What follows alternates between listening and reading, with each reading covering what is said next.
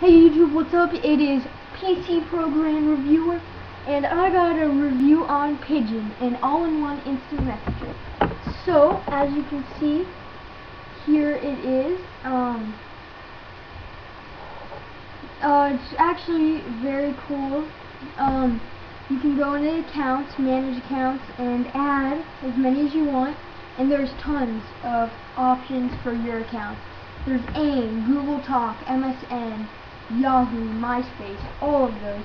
You can go by an alias, uh, which is just a different name for yourself.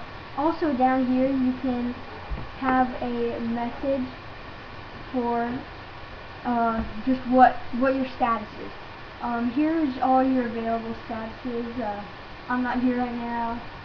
Um, do not disturb, chatty, available, all those. Um, so you can edit your buddies, you can uh, new new instant message, join chat, get user info, view user log, um, show offline, uh, all these. Um, so it's a very good free um, all-in-one instant messenger.